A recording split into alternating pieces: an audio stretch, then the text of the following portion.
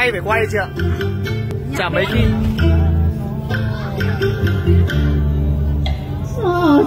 là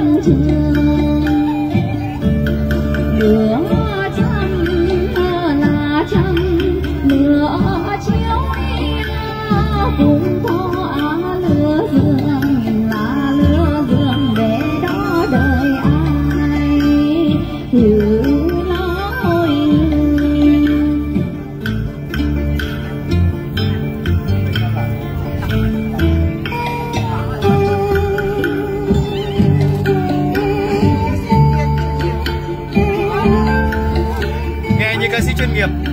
Anh